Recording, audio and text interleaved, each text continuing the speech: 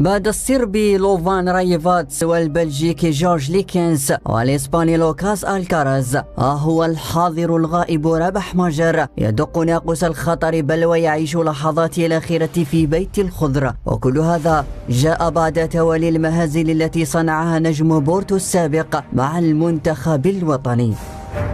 رحيل ماجر بات مطلبا أكثر من أي وقت مضى وهو الطلب والمطلب الوحيد للجماهير الجزائرية التي طالبته بضرورة رمي المنشفة في الوقت الذي طرحت فيه أسماء عديدة لخلافة صاحب التصريحات الغريبة للإشراف على قيادة كتيبة الخضر وإعادتها للواجهة من جديد.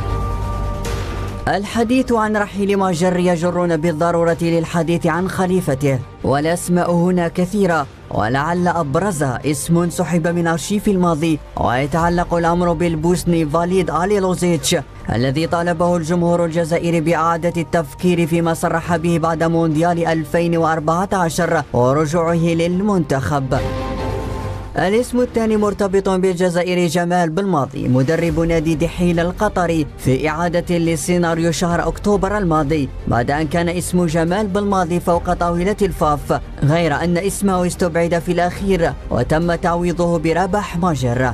ليبقى استقدام مدرب كبير يليق بمنتخب بحجم الجزائر الحل الأمثل.